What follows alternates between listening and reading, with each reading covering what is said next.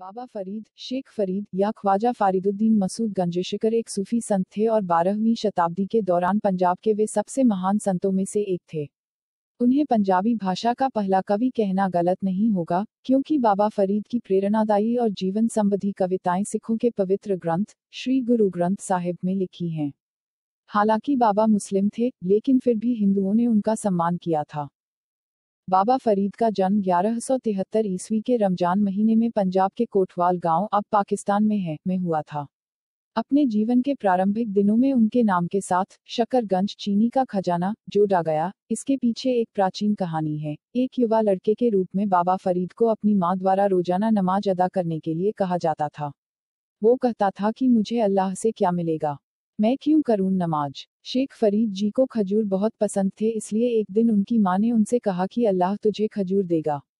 बाबा फरीद की माँ ने नमाज़ अदा करने के लिए एक चटाई डाली और उस चटाई के नीचे कुछ खजूर छिपा दिए ताकि वह उसे अल्लाह का वरदान समझे।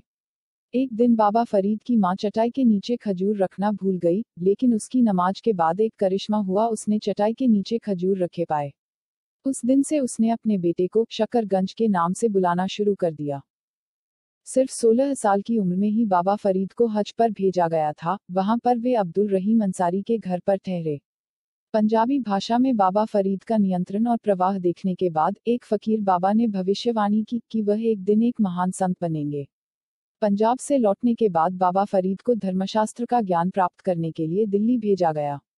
बाबा फरीद अरबी, फारसी और अन्य भाषाओं को जानने वाले ज्ञानी संत थे, लेकिन पंजाबी भाषा से उनको बहुत लगाव था इसलिए उन्होंने अपने सभी दोहों को पंजाबी भाषा में लिखा था। बाबा फरीद ने साहित्यिक काम के लिए पंजाबी भाषा का प्रदर्शन किया। उस समय पंजाबी भाषा कम परिष्कृत मानी जाती थी। बाबा फरीद अपने दोहों के लिए दूर दूर तक जाने जाते थे। बाबा फरीद के काम से पहले पंजाबी साहित्य में बहुत ज़्यादा सार नहीं था क्योंकि आज जिन दोहों का आनंद लिया जा रहा है वह पहले सीमित थे। वर्तमान समय में भारत के पंजाब प्रांत में स्थित फरीदकोट शहर का नाम बाबा फरीद के नाम से ही रखा गया था। ऐसा कहा जाता है कि बाबा फरीद के शहर को मोखलपुर के नाम से जाना जाता था और वे राजा मोखल के किले के पास 40 दिनों के लिए अलगाव के लिए बैठे थे। राजा इस दिव्य व्यक्ति से बहुत प्रभावित हुआ और उस शहर का नाम उनके नाम के साथ जोड़ दिया। वह स्थान जहाँ बाबा फरीद ने बैठकर ध्यान किया था, उसे बाबा फरीद का टीला के रूप में जाना जाता है। प्रत्येक वर्ष शहर में बाबा को याद रखने के लिए तीन दिवसीय त्योहार, जिसे बाबा शेख फरीद आगमन पूर्व मेला कहा जाता है 21 सितंबर से 23 सितंबर तक मनाया जाता है।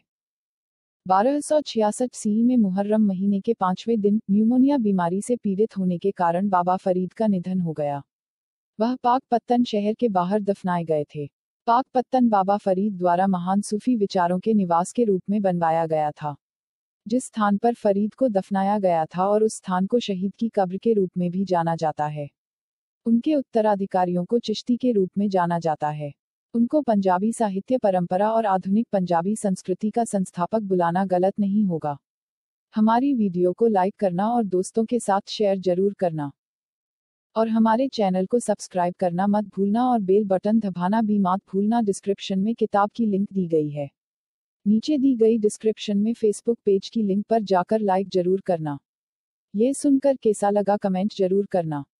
वीडियो देखने के लिए बहुत बहुत धन्यवाद। बाबा फरीद, शेख फरीद, या